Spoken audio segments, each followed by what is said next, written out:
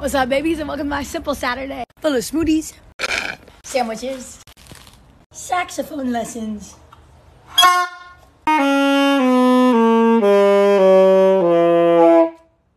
Bills on my shirt. I changed because of my stain.